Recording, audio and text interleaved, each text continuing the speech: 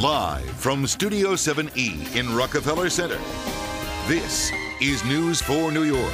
Out of control, kids losing it because they can't stop playing video games. Doctors say the addiction is real. Also ahead, for some kids, it's like a drug. It takes over their lives, and they need to get their fix. How can you tell if your child is hooked? What are the signs? And what is it really doing to their minds? Addicted to video games. Coming up next. With video games as popular as ever, doctors say they're starting to see the signs of addiction in young children. And sometimes for parents, it's hard to witness. Tonight, Ida Siegal reports. The kid in this YouTube video was just told by his parents he could no longer play a popular video game called World of Warcraft.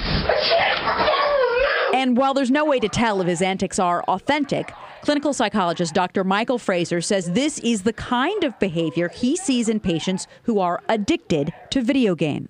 Tantrums where, again, children will make threats to hurt themselves. Uh, they will destroy property in the house. They'll break things. It is a growing problem. Children who play for hours and hours on end and become obsessed. 13 year old Vincent says he was addicted and had to cut himself off. Sometimes I wouldn't do my homework, and sometimes I, I wouldn't hang out with my friends because of this game, and that's all I would think about. And sometimes even gave me nightmares because it was a zombie game. And we need to recognize how well or not well they're conducting normal lives. Do they have real life friends? What are their grades like? What are the schools saying? And do they actually communicate with others once in a while without headphones?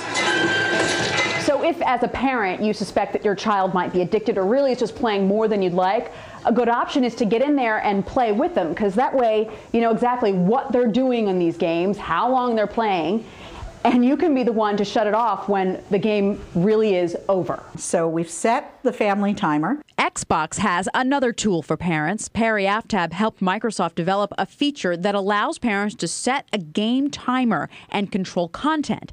So if the parent says they want the kids to play, say, two hours a week, the game will automatically turn off when time is up.